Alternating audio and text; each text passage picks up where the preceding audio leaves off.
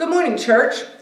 Our scripture this day comes to us from the Gospel of St. Luke, the 24th chapter, beginning at verse 13. A familiar scripture, that vivid story of the, the two disciples on the road to Emmaus. Hear the word of the Lord. Now that same day, two of them were going to a village near called Emmaus, about seven miles from Jerusalem. They were talking with each other about everything that had happened. And as they talked and discussed these things with each other, Jesus himself came up and walked along with them, but they were kept from recognizing him. He asked them, What are you discussing together as you walk along? They stopped and stood with their faces down, and one of them, named Cleophas, asked him, are you the only one visiting Jerusalem who does not know the things that have happened there in these days? What things, he asked. About Jesus of Nazareth. He was a prophet, powerful in word and deed before God and all the people. The chief priests and our rulers handed him over to be sentenced to death, and they crucified him but we had hoped that he was the one who was going to redeem Israel. And what is more, it is the third day since all of this took place. In addition, some of our women went to the tomb early this morning, but they didn't find his body. They came and told us that they had seen a vision of angels who said he was alive. Then some of our companions went to the tomb and found it was just as the women had said but they didn't see Jesus. He looked at them and said, How foolish you are, and how slow to believe all that the prophets have spoken. Did not the Messiah have to suffer these things and then enter his glory? And beginning with Moses and all the prophets, he explained to them what was said in all the scriptures concerning himself. As they approached the village to which they were going, Jesus continued on as if he was going further. But they urged him strongly, Stay with us, for it is nearly evening. The day is almost over. So he went in to stay with them. While they were at the table, he took bread, gave thanks, broke it, and began to give it to them. Then their eyes were opened and they recognized him, and he disappeared from their sight. They asked each other, Were not our hearts burning within us while we talked with him on the road and while he opened the scriptures to us? They got up and returned at once to Jerusalem. They found the eleven and those with them assembled together and they said, It is true, the Lord has risen and has appeared to us. Then the two told what had happened on the way and how Jesus was recognized to them when he broke the bread. This is the word of God for the people of God, and thanks be to God. For these last 25, 26 days, we've had a very different kind of way of life. We have been quarantined. Now that's meant different things to different people. The Gold Star people have not been out of their homes in 25, 26 days. The Bronze Star people, I'm sorry, the Silver Star people are those that make that one trip a day to work and back. Then there were the Bronze Star people that we go out when we absolutely have to go out but we don't make any more trips than necessary. And even if we want to go somewhere, where would we go? We can go for groceries, we can go for gas, we can go for medicine, and we can go do pick up food. Now, none of those are exactly exciting places to be, but it's been a very different kind of existence. And it has been frustrating and it has caused anxiety among us, but it is a very different kind of living. We find ourselves wondering what to do with our time. And one of the amazing parts of this quarantine is how we've been able, or at least I've been able, to see God's creation in a different way. Have you realized the beautiful song the birds sing every morning, very early every morning also, I might add. But it's beautiful. They just absolutely chirp away like they don't have a care in the world. And then in the evening, they have this nice like lullaby song that they're saying goodnight to each other and, and to their creator, God. Not something I paid a whole lot of attention to before quarantine. And it just seems that all of God's creation is so much more vivid. The trees that are coming back into bloom and the flowers and even the weeds you notice more in your yard.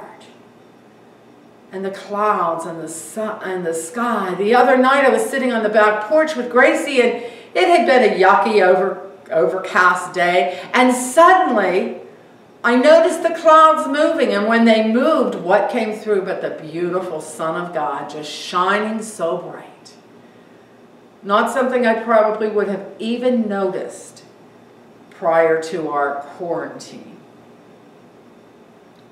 We've had to find time, things to fill our time. We found that things that needed to get done around the house are suddenly getting done. We're cleaning more. We're throwing away stuff. We're kind of downsizing a little bit. We're enjoying activities that we haven't enjoyed in a long time because we didn't have time. Our lives were so rushed and our lives were so scheduled, and now our lives are anything but scheduled. What are you doing tonight? Same thing I did last night. Listening to music and probably playing a game on Facebook because quite frankly I find nothing on television to really interest me. We've had time to do all kinds of activities and I pray that for you that has included time to be in God's Word and time to be in prayer and time to just be in the presence of God. We've sort of been given a whole new kind of sight. Our eyes have been opened to the beauty of God around us. And that's very much what we find in today's post-resurrection scripture. It's that wonderful, beautiful, vivid story from only Luke when two disciples are going home from Jerusalem. They've been there for Passover. And this was the Passover of all Passovers because it was the Passover where Christ was crucified. And it's a seven mile walk. And as they walk, they talk to make the time go faster. And suddenly they have this stranger with them who is no stranger at all, who is Jesus, the risen Savior. But because of the despair and the disappointment and the dread in their own hearts and lives, they fail to recognize him as Jesus. And as they walk, they say, What do you mean you don't know what's happened? You must be the only one leaving Jerusalem that hasn't been aware of what they did to Jesus of Nazareth. And they, re they replay the story for him. And he stops them and says, You foolish people, you fail to recognize what the prophets said about the one to come. And he starts with Moses and he goes through the prophets. And he shows them how this all was God's plan. That the promised one would be handed over and would die and would rise again. And by this time they've gotten to that little village of Emmaus and Jesus is walking on and they say, no, no, no, no, no, come and stay with us. It's almost evening. It's time for the meal. And so as Jesus sits at the table with them, Luke tells us it's when he takes the bread and he blesses it and he breaks it and he hands it to these two that suddenly their eyes are opened and it's no longer a stranger it's Jesus the risen savior and he's gone And Cleophas and the other unnamed disciple get up and go right back to Jerusalem. Yes, it's late. Yes, it's dark. And no, there are no streetlights. But they go back to Jerusalem because it's that important to share that Jesus is risen. And they tell the eleven of their encounter with the risen Savior. I think in many ways we're like Cleophas and his friend because we're discouraged, we're despairing, we're disappointed, and we're uncertain. Oh, in our heart and in our spirit, we know we have not been abandoned. We know that God is with us. But see, it's our human mind that we need to be concerned about because we are bombarded whether you're on Facebook, whether you're on Twitter, whether you have the television on, we are bombarded daily with coronavirus updates. And everyone changes from the one before, which only adds to our confusion and our wondering. But we need to get past that human mind. We need to remember who we are. I posted, very unusual for me on a Sunday morning, but I posted on Facebook this morning. And what I posted was the Gaither Band doing The Church Triumphant. And if you know that song, and if you don't, go listen to it. It needs to be your theme song through this pandemic. And in the middle it says, God has always had a people no matter what they've done to the church, no matter what they've tried to do to the church, no matter what they think they've done to the church, God has always had a people. A people that have stayed fastly connected to Him. And that's who you need to be in this time. One of God's people. We're coming out of this, at least that's what I believe. But we hear questions like, well, how are we going to survive? How's the world going to survive? I'm not sure on that one, but I know the world will survive until God's ready for it not to. How will our country survive? Well, if we don't kill each other with the hate we have for each other, then we'll find a way. But how will you and I survive? How will we survive as a child of God? We will survive, survive with the power and the love and the grace of Jesus Christ our Lord. He will carry us through.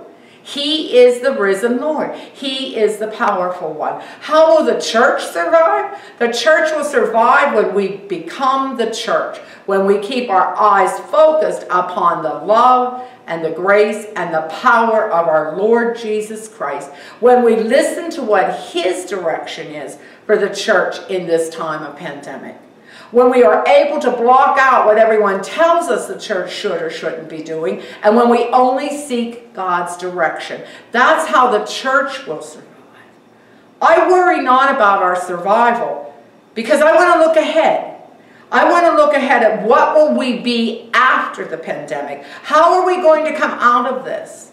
Are we going to come out of this just saying, thank God I survived? Or are we going to come out of this knowing that we've been given a new vision, a new sight? Just like those disciples on the road to Emmaus were given new sight when they recognized Jesus. How will you come out of it? How will I come out of it? Quite frankly, that's our own choice. And the choice is this. We can continue to look backwards and be fearful and be filled with anxiety about what might happen again. Or we can be like Cleophas and the other unnamed disciple, and we can run ahead and tell the story of how God brought us through the pandemic, what we saw in God's creation during the pandemic, how we've been given a new sight. We can come through this with renewed belief, with deeper conviction, and with new stories to tell. But that choice will be ours. Whether we continue to be the fearful people that the world truly wants us to be, or whether we can be God's chosen people, the church triumphant, the church with new in with renewed energy and a renewed message. God's always have a people. God will always have a people. When a river is forced to, to flow underground, it doesn't lose its power. It flows until it's ready to burst out in a new way with renewed vitality and renewed energy. We've seen the risen Lord. Do we stay hankered down when we're able to be out? Or do we have renewed energy and renewed strength and a renewed belief that God has always had a people and I am one of them. And I have a message to tell. The pandemic will end and each of us will go forth. We can go back to our normal life, scheduling every moment of every day so we don't have to worry about our spiritual, our spiritual life. Or we can remember that when we sit still, God has much to teach us. God has much to show us because God has much for us to do. Amen. Prayer concerns today, I share with you Chuck did well with his chemo. Um, he's tired, but he did not get sick, so that's a blessing. Everyone else is fairly well. Ed Guest has pneumonia again, so I would ask that you would keep him in your prayers. And happy birthday, Ed. It's a couple days late. Um, as far as I know, those are our concerns. We're all concerned for our brothers and sisters, and I encourage you to check in on each other. This has given a renewed um, appreciation for simple phone calls or notes or even text messages, and we need to be a part of that. But as we end this message for this week, I encourage you to listen to that, that um, song.